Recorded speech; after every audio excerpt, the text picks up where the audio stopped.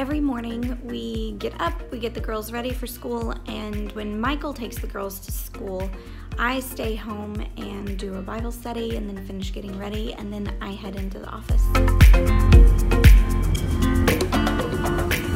Okay, so the work day is done.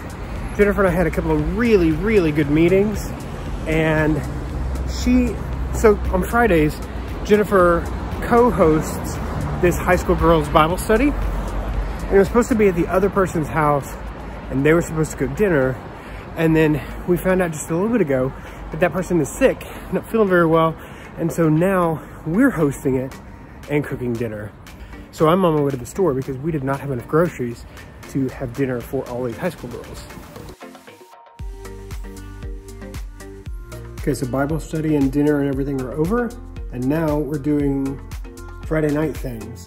Addie's watching a show, Jennifer and Madeline are reading.